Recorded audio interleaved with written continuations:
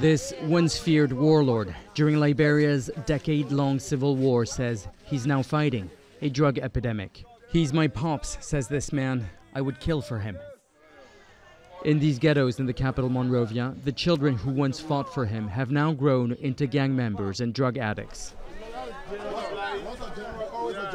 They call him General Butt Naked because he fought without clothes alongside children hooked on drugs he provided.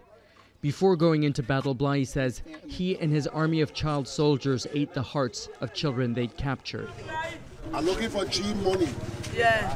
G Money promised me that he will give me 20 children under the age of 15.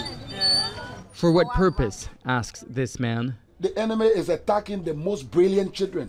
That's why you see this. That's one worry. The nation is going to be strangulated if we don't rescue these guys. The enemy he refers to are drug lords in Monrovia. We're told to leave and that gangs are after us. The UN says Liberia is among several West African countries used as transit hubs for cocaine and heroin coming from Latin America and Asian countries to European markets. The next day, we meet Blahyi at his home.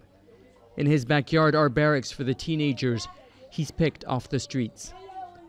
They say Nigerian gang members are distributing drugs in the ghettos, hooking children on heroin or pharmaceuticals like the painkiller tramadol. I want to become a lawmaker because no one will talk for us in the House of Representatives. We are vulnerable on the streets, smoking drugs. I want to become a lawmaker to protect my friends. Blahyi has admitted to the country's Truth and Reconciliation Commission that he's responsible for the killings of more than 20,000 people during the Civil War. Now he says he's these children's protector. The work that the former warlord Joshua Blahyi has done with street children has attracted public sympathy and has protected him, in effect, from public prosecution, despite the recommendations made by the Truth and Reconciliation Commission. Blahyi says protecting children is a way for him to repent for his past crimes. I think what I did was wrong, and there is no excuse for it. And me and others who did this should pay for it. But as I'm waiting for justice, I want to be giving back.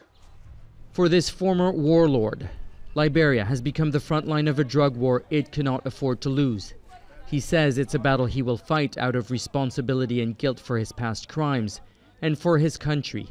Statements that few here are in a position to challenge. Nicolas Haque, Al Jazeera, Monrovia.